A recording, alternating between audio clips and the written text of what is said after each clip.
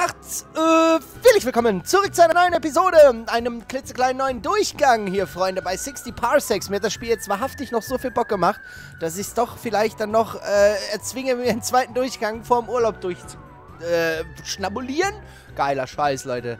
Ich habe richtig Bock drauf. Okay, wir starten ein neues Abenteuer. Überleben. Überlebe in einem äh, Fluchtshuttle mit zufälligen Fronten und zufälliger Besatzung? Okay, nein. Das komplette Spielerlebnis, entkomme von der Station, überlebe mit deinen Vorräten und deiner Besatzung auf jeden. Strategisches Erlebnis. Stelle deine Führungskompetenzen auf die Probe und versuche zu überleben. Viele Erfolge und Statistiken sind deaktiviert. Nein, wir wollen, wir wollen das volle Erlebnis. Wir wollen das... Oh, cool, wir können hier auch Nanobot-Captain nehmen.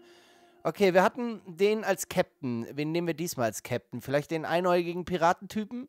Die verrückte Frau? Ich weiß es nicht. Komm, wir nehmen... Was ist Tom Thompson? Hat gute... Jedermanns erster Eindruck von Tom Thompson ist seine ausgezeichnete Major voller Tapferkeit. Ein Mann, der alles gesehen hat. Mit seiner coolen Augenklappe und dem herrlichen blonden Mähne hält Tom sich für den wahr gewordenen Traum aller Leute. Und die Personifikation des amerikanischen Helden. Leider stimmt nichts davon. Ähm, okay. Äh, Attribute. Okay, warte mal, was ist mit diesem Nanobot? Die ist sehr beweglich, sehr schlau. Überlebe 30 Tage mit voller Besatzung, es wird schwierig. Repariere oder... Der war sehr schlau. Komm, wir nehmen einfach mal hier den amerikanischen Super Captain. Geil. Habe ich jetzt richtig Bock drauf. Klebeband repariert alles. Aber wie repariert man das Klebeband? Mit Klebeband. Das ist die endlose Schleife. Das ist einfach wie, das ist ein Möbiusband. Das hat keinen Innen, keinen Außen, keinen Anfang und kein Ende. Ja, es ist, äh... Ihr wisst, was ich meine. Astrobürger. Auf die Plätze, fertig. Hier kann ich mich schon mal umgucken. Besatzungsmitglieder. Komm, ich nehme dich gleich mit, wenn die Zeit losgeht hier.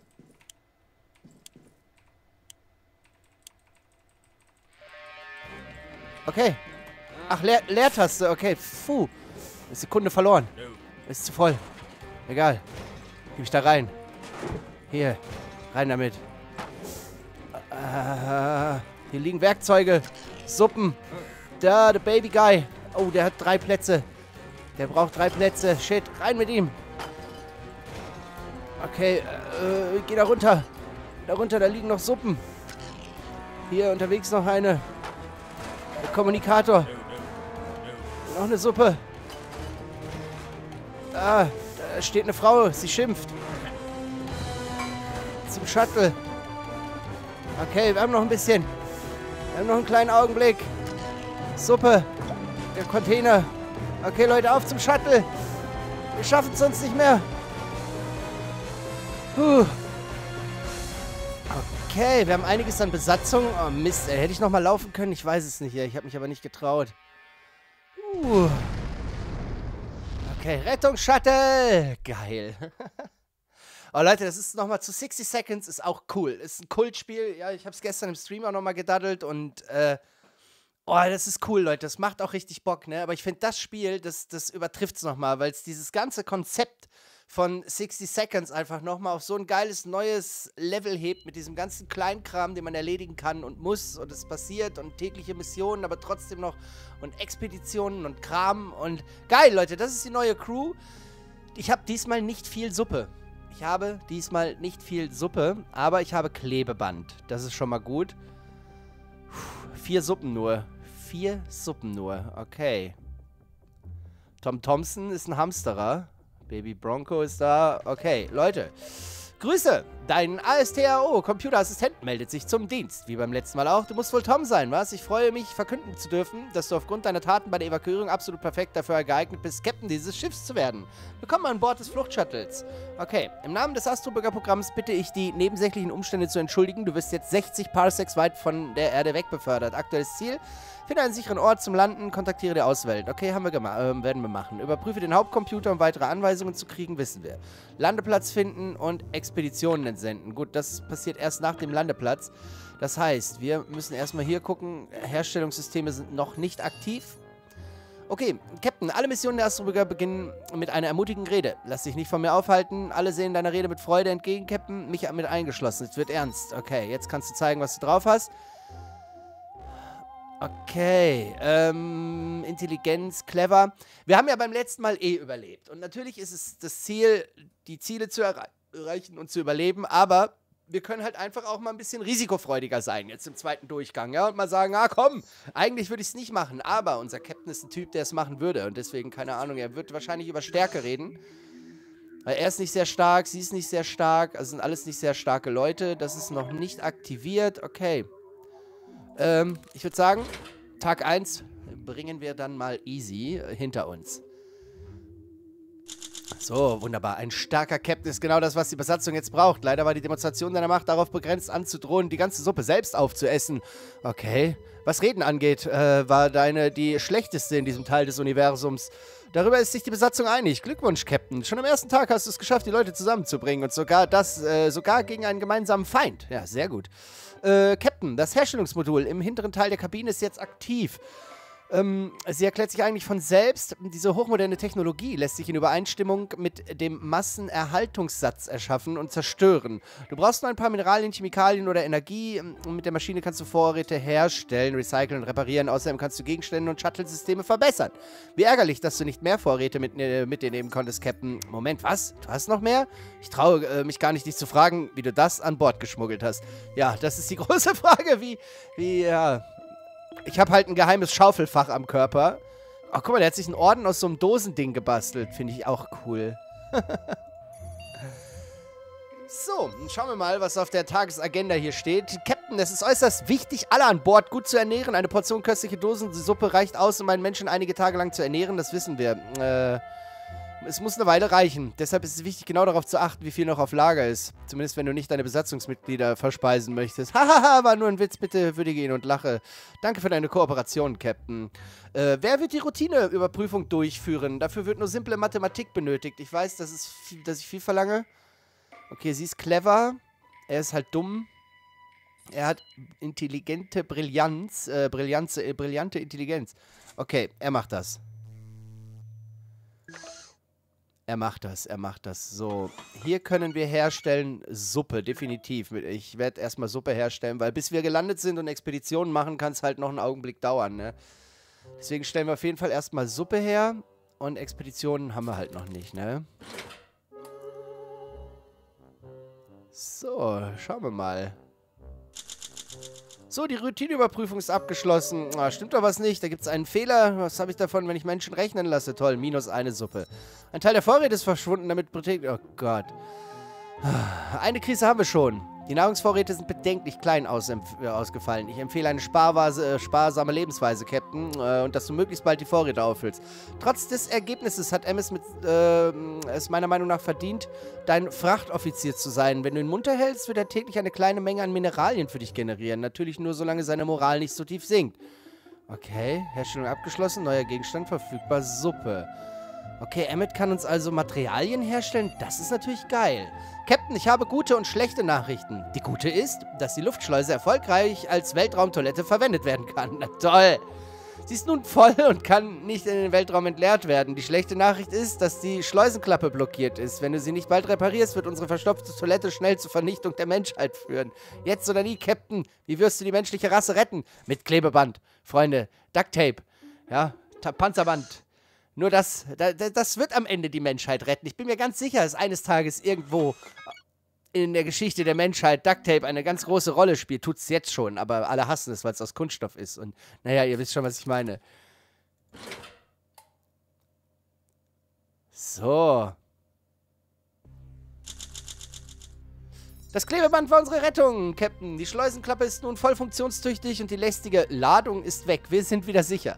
Der Gestank wird bestimmt auch verschwinden, eines Tages. Deine Leute sind in Sicherheit, Captain. Was für eine Erleichterung. Herstellung abgeschlossen, Suppe. Emmet ist fit. Er sieht hellwach aus. Bilde ich mir das nur ein oder wird er plötzlich viel kompetenter? Tja, Baby ist fit und ist hellwach.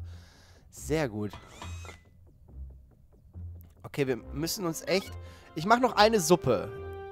Wir haben noch ein paar Chemikalien. Das heißt, wir können noch so ein paar Sachen herstellen. Äh, ich werde auf jeden Fall noch eine Suppe herstellen.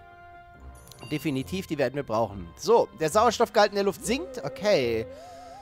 Äh, Oxygen Waste Kurs Moskau hat eine Fehlfunktion. Ich weiß nicht, wer sich den Namen ausgedacht hat. Wir können Sabotage jedenfalls nicht ausschließen. Ja, das ist, äh, kann ich mir vorstellen. Du solltest den Filter reparieren. Du kannst Moskau aus dem schwerkraftlosen Bereich zwischen Rumpf und Außendeck erreichen.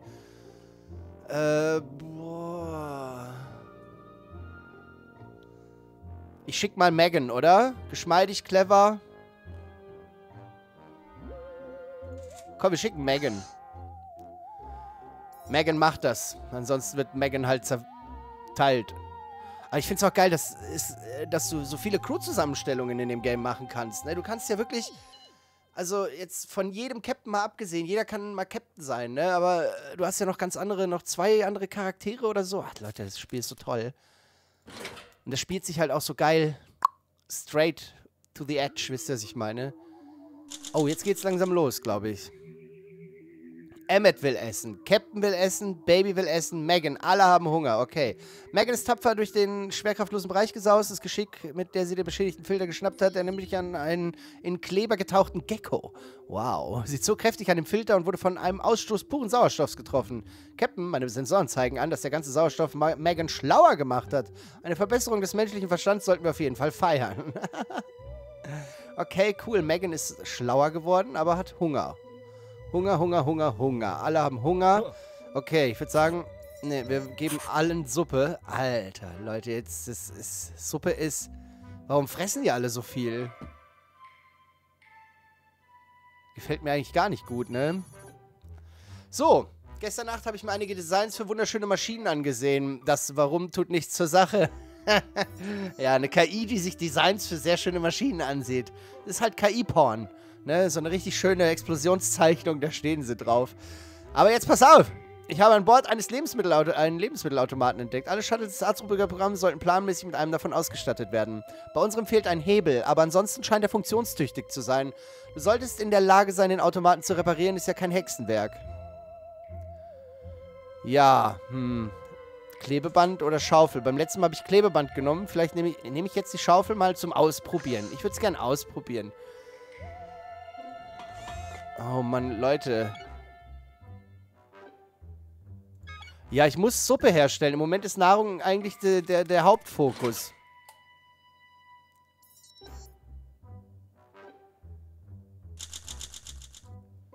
So, gnadenlos mit einer Schaufel auf die Maschine einzuprügeln, musste einfach funktionieren. Wenn der Griff sich nicht anstelle eines Hebels äh, darin verklemmt hätte, bin ich sicher, dass sich der Automat selbst repariert hätte, um diesen Lärm am Ende zu setzen. Ich bin so stolz, ein Mitglied deiner Besatzung zu sein, Captain. Ja, jetzt nur noch ein wenig dran ziehen und na bitte, Captain, eine brandneue Suppendose, direkt aus dem Automaten. Dummerweise enthielt er nur eine Portion. Keine Sorge, ich habe mich bereits um den restlichen Müll gekümmert. Okay, ähm, Herstellung abgeschlossen. Neuer Gegenstand Suppe verfügbar. Du bist nicht mehr hungrig. Keine Rationen, keine Suppe, keine Suppe. Okay. Cool. Gefällt mir eigentlich ganz gut. Ähm, die haben jetzt erstmal gegessen. Das heißt, wir haben vier Suppen. Was kostet das hier? Das kostet... Oh, Mann. Ja, ein Erste-Hilfe-Kasten wäre ganz cool, aber wir könnten auch mal das Feuerzeug herstellen. Und mir ist aufgefallen, wir haben ja noch gar keine Ritualstatue. Wie regeln wir das denn am besten, Leute? Naja, egal. Captain, wundervolle Neuigkeiten. Die Scanner haben einen Behälter aufgespürt, der in unserer Nähe durch den Weltraum schwebt. Was da wohl drin ist? Hm. Ja, versucht den Behälter an Bord zu bekommen. Auf jeden Fall. Wir gehen alle Gefahren ein. Auch wenn man die letzte menschliche Überlebensklasse ist, muss man doch versuchen, jedes Risiko einzugehen. Weil was hat man noch zu verlieren? Ne, der Planet ist weg. Also die geheimnisvolle Ladung, die unsere Scanner gestern entdeckt hatten, ist nun an Bord. Öffnen in 3, 2, 1. Es ist leer. Vollkommen leer. Was für ein Reinfall. Baby ist immer noch hellwach. Herstellung abgeschlossen. Neuer Gegenstand Feuerzeug. Na toll. Wofür habe ich... Oh, was ist das hier? Guck mal, der hat ein ganz anderes Bild plötzlich. So kryptische... Scheint also doch wichtig zu sein. Äh, wollen wir einen Erste-Hilfe-Kasten herstellen? Nee, jetzt wo ich akut keinen brauche im Moment, ne? Komm, ich hau den einen von den 10er Chemikalien hau ich noch für Suppe raus. Hauptcomputer. Captain, deine Aufmerksamkeit wird hier benötigt. Das ist ganz und gar nicht normal. Wir registrieren äh, unbekannte Signale. Ich kann nicht identifizieren, wer sie sendet oder was sie beinhalten. Sie könnten eine Störung durch eine Sonneneruption sein oder viel schlimmer noch, eine neue Art der Sowjets, ihre Signale zu verschlüsseln. Wir müssen diese Signale so schnell wie möglich entschlüsseln. Nach allem, was wir wissen, könnte unser Überleben davon abhängen. Wer soll die Signale überwachen? Also er ist clever. Er ist genial, mussten wir überlegen. Passabel, sie ist auch clever. Hat sie nicht durch den Sauerstoffstoß mehr Intelligenz bekommen? Naja, ich würde sagen, wir nehmen Emmet. Wenn wir Emmet dabei haben, dann kontrolliert Emmet natürlich die Signale.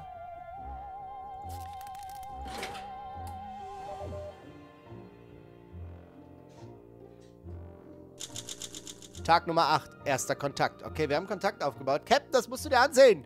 Ich bin wirklich nicht schnell aus der Ruhe zu bringen, aber das ist einer der größten Momente für die Menschheit und von Menschen geschaffene KI. Wir sind nicht allein im Universum. So, wir konnten endlich Signale entschlüsseln, die wir empfangen haben. Sie stammen von Aliens, also von anderen Lebensformen. Und nein, damit meine ich nicht die Kommis. Sowas haben wir nie zuvor gesehen. Anscheinend gibt es einige intelligente Zivilisationen in dieser Galaxis.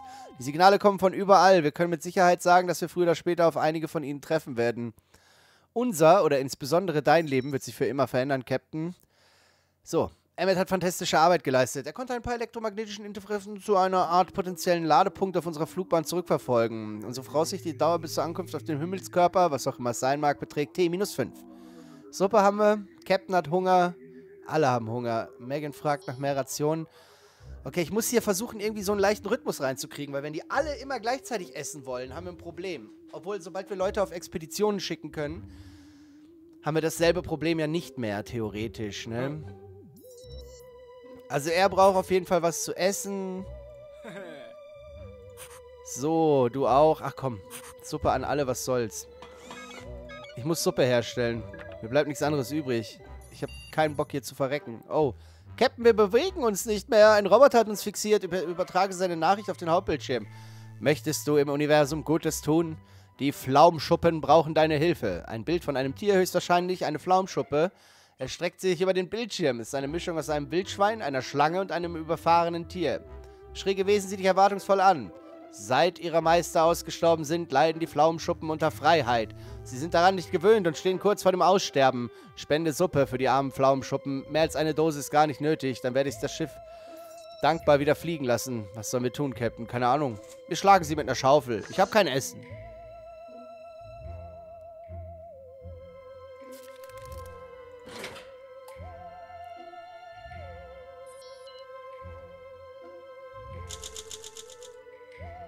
Du hattest kein Mitleid mit den Pflaumenschuppen. Du hast dich aus der Lustschläufe hängen lassen und den Roboter heftig mit einer Schaufel geschlagen.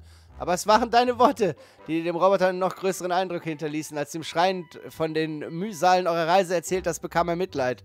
Sofort teilte er seine Ressourcen mit euch. Dann machte er Fotos von euch. Ähm, er schwor, dass er eine Kampagne ins Leben rufen würde, um Metalle für die Menschheit zu sammeln. Ich werde nicht ruhen, bis sich jeder einzelne Mensch vor atomarer Strahlung schützen kann, verkündete er plakativ und verschwand. Die Chancen stehen gut, dass der Anblick ähm, von euch mehr Mitleid erweckt als äh, der einer Pflaumschuppe. Unser Kurs ist unverändert, schon bald kommen wir am möglichen Landeplatz an. Geschätzte Ankunft in T-4. Wir haben alle keinen Hunger mehr. Oh, guck mal, ein Liebessymbol. War das damals auch schon? Ich habe da überhaupt nicht drauf geachtet, ne? Okay, wir können eine Kuh herstellen. Können aber auch noch Dinge recyceln. Ich würde sagen, ich recycle mal das Feuerzeug. Weil wir jetzt Steine bekommen haben. So. Sie könnte mich weiterbringen. Das Signal in meinem Rauschen sein. Ich stand mit dem verlassenen Shuttle in Kontakt, das wir vor einiger Zeit entdeckt haben. Sie hat eingewilligt, sich mit uns zu treffen. Uns, ich meinte mit uns. Also, du musst zusagen, Captain. Sie treibt ohne Besatzung dahin und hat angeboten, ihre Ressourcen mit uns zu teilen. Es gibt da nur ein Problem. Sie ist Kommunistin und sie glaubt, dass wir auch Kommunisten sind. Okay, sie hat mich mit ihren Triebwerken geblendet und da ist einfach, äh, da ist es einfach rausgekommen. Sie ist jedoch kein schlechtes Schatten und will lediglich, dass wir auf unsere Berechnungen stolz sind. Wenn du ihre Ressourcen willst, musst du mitspielen. Ich weiß nicht, äh, wie. Biete ihr eine Suppe an, erzähle, dass du kontaktfreudig bist und gerne feierst. Dir wird schon was einfallen. Was meinst du, Captain? Okay, wir bieten eine von unseren letzten Freundschaftssuppen an, die wir haben.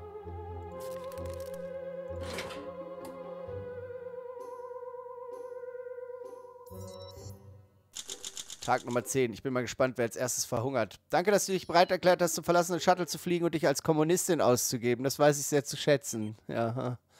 Ich glaube, deine Bereitschaft, die Suppe zu teilen, könnte überzeugen. Danke, dass du mich nicht gehetzt hast. Äh, ich hätte stundenlang mit ihr Daten austauschen können, als wir in ihrem Dock anlegten und sie mir Daten für meinen Algorithmen einspielte. Verging mir die Zeit langsamer, okay?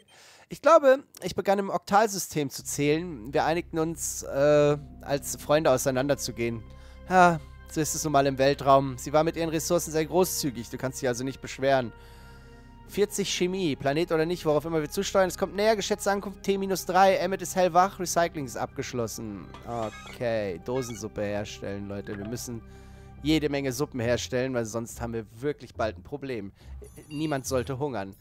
So, Captain, wir begeben uns jetzt in ein Feld aus komisch, kosmischem Gas. Sein Ursprung ist unbekannt, doch ich habe eine Theorie. Oh, oh, riechst du das? Hat da jemand vergessen, sich jemand die Zähne zu putzen? Nein, es ist nur Gas, ähm, das durch ein Leck ins Shuttle gelangt. Jemand könnte versuchen, einen Teil davon für später zu isolieren. Auf jeden Fall solltet ihr den Nebenwirkungen entgehen. Naja, würde ich Emmet schicken, oder? Emmet oder Megan? Aber er ist halt einfach geschmeidig und genial. Er ist nicht super stark, aber er wird sich mit dem Gasleck da schon auseinandersetzen irgendwie. Äh, ja, dann war es das auch schon wieder.